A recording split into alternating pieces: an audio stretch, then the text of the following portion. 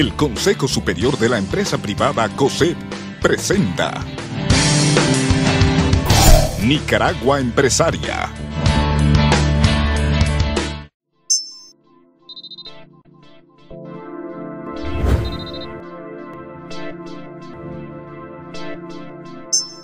El futuro de Nicaragua está en la empresa privada comprometida con la democracia y la economía.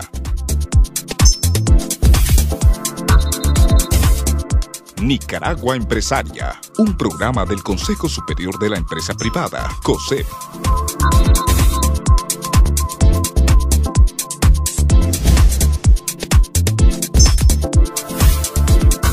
Infórmese del quehacer empresarial de nuestro país en Nicaragua Empresaria.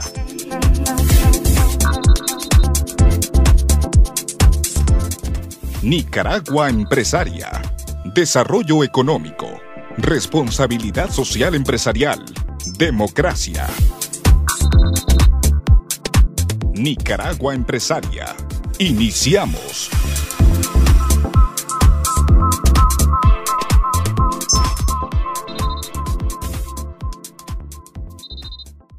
Estimados televidentes de Nicaragua Empresaria, muy buenas noches, bienvenidos al programa de hoy, en donde abordaremos un tema muy interesante y muy importante para los nicaragüenses, la nueva ley de promoción del microcrédito en Nicaragua, que está siendo discutida ya en la Asamblea Nacional y que los sectores económicos están haciendo sus aportes a la Asamblea Nacional.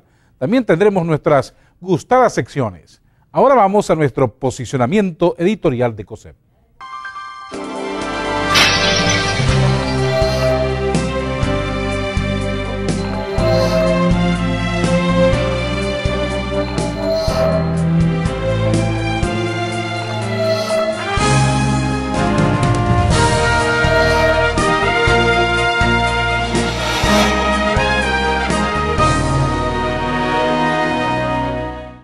Buenas noches televidentes de Nicaragua Empresaria. El sector de microfinanzas en Nicaragua, según la Asociación Nicaragüense de Instituciones de Microfinanzas, ASOMIF, abarca a 22 entidades, incluyendo una cooperativa de ahorro y crédito al 31 de diciembre del 2010. Estas 22 entidades ofrecen a lo largo y ancho de nuestro país servicios de microcréditos en 220 oficinas distribuidas en 63 municipios del país a 264 mil clientes, 60% mujeres, a través de una cartera de crédito de 182 millones de dólares, 43% dirigido a la mujer. El sector de las microfinanzas en nuestro país sufrió los embates de la crisis mundial del 2008 y 2009, que aún experimentan algunos países desarrollados en donde se encuentran los fondeadores, inversionistas principales de algunas de nuestras microfinancieras. A esta situación exógena o fuera del control de los nicaragüenses, hay que añadirle el daño que la ley de moratoria, mejor conocida como la ley de los no pago, ocasionó y sigue ocasionando al sector. Fue desde la Asamblea Nacional en donde 87 diputados de todas las bancadas partidarias votaron a favor de una ley que premió a unos pocos morosos a costa del bienestar de miles de pequeños productores del campo y de la ciudad en nuestro país que sí pagaban como se debía los créditos adquiridos. Estos daños que todavía experimentan miles de pequeños y pequeñas empresarias de nuestro país se pueden resumir, según datos del Banco Central, en la no atención de 32 mil clientes y en la caída de la cartera bruta del sector de 36 millones de dólares entre el 2009 y el 2010. Más allá de los datos económicos antes mencionados, la importancia y por tanto la afectación a este vital sector de la economía nicaragüense tiene ribetes sociales, tales como el no acceso a crédito por parte de los agentes económicos que se desarrollan en el sector informal de nuestro país y que supone un 65% de la economía del país. También se afecta a la mujer trabajadora, cabeza de miles de hogares de nuestro país y al pequeño productor y pequeña productora rural y urbana que no es sujeto de crédito por parte de la banca comercial y a todos los sectores pymes que de manera transversal solamente son atendidos por estas entidades financieras que se ubican en todos los mercados y en los más remotos lugares de nuestra geografía nacional. Lo que necesitamos es una ley que establezca reglas claras, transparentes y de largo plazo para el sector, promoviendo la cultura del sí pago, devolviéndole la confianza al inversionista nacional y extranjero en Nicaragua. Es por todo lo antes mencionado que COSEP ha estado trabajando durante estas semanas junto a ASOMIF y tomando en cuenta los aportes de ASOBAMP y CONIMIPYME en una propuesta de ley de consenso y en beneficio de todos los involucrados en el sector. Esperamos contar con el respaldo y apoyo de todos los partidos políticos representados en la Asamblea Nacional cuando se discuta en este poder del Estado en el mes de junio esta propuesta de ley, contribuyendo así al bienestar de miles de pequeños y medianos comerciantes y productores, usuarios del microcrédito en el país y por ende al progreso de toda la nación. Este ha sido el editorial de la semana. Fortaleciendo al empresariado, hacemos grande a Nicaragua.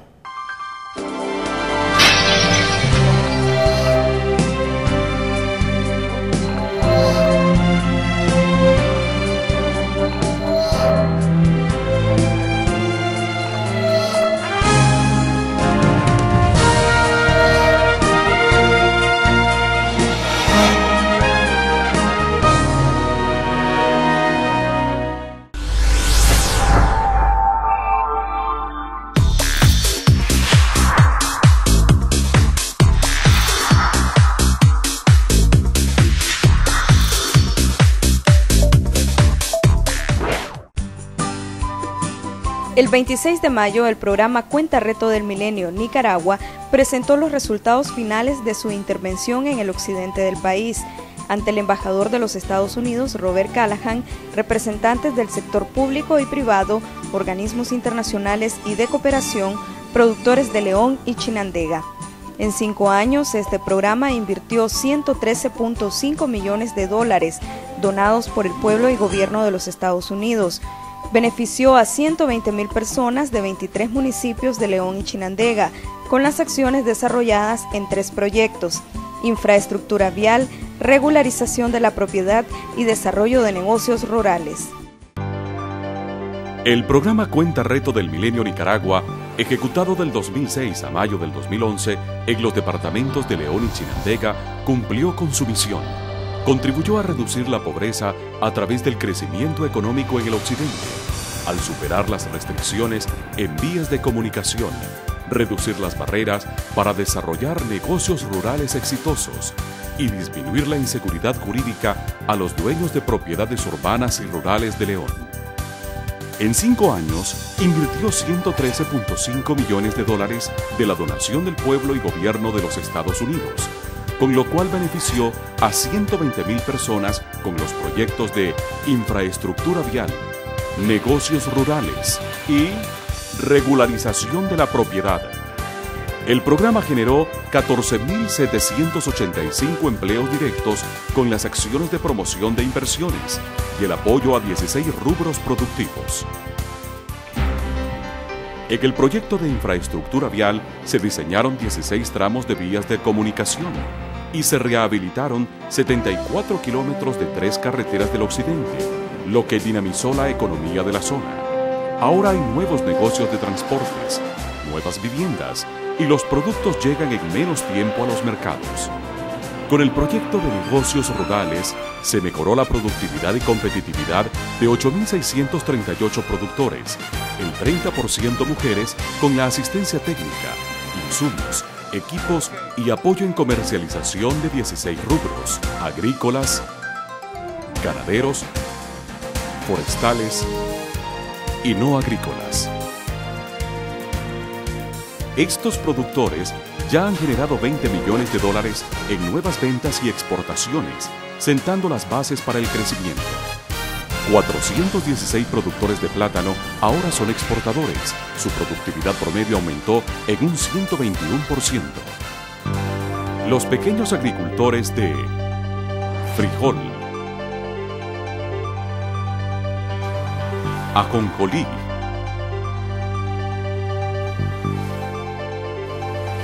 arroz, hortalizas,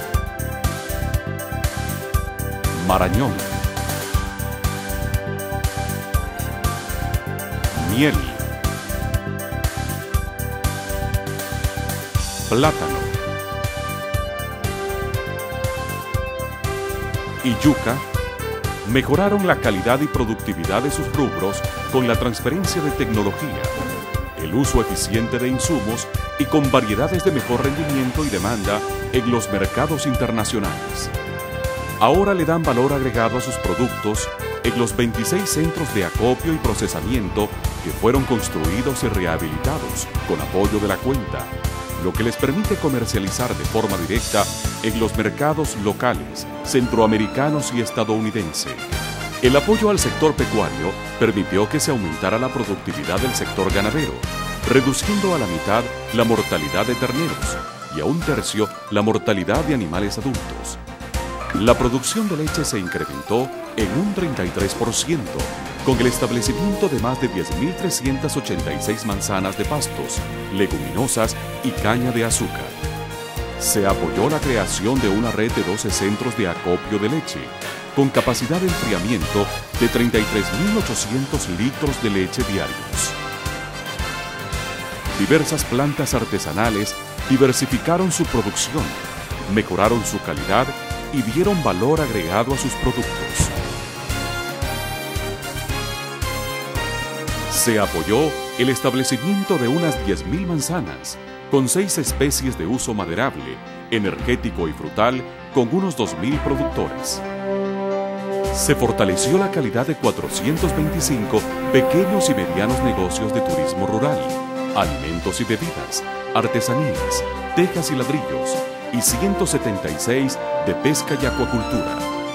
Con el proyecto de regularización de la propiedad se titularon 2.845 propiedades y se sentó las bases para la legalización de 40.000 propiedades en León, al apoyar el levantamiento catastral de 308 kilómetros cuadrados en Nagarote, el levantamiento aéreo fotogramétrico del Departamento de León, el establecimiento de un sistema de información integrado de catastro y registro de propiedades.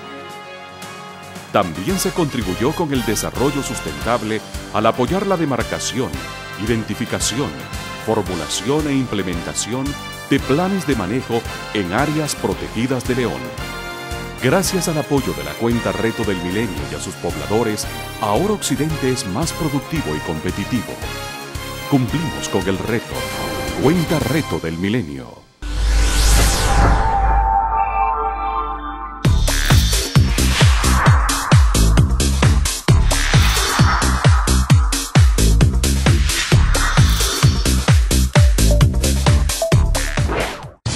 Nicaragua Empresaria. Ya regresamos.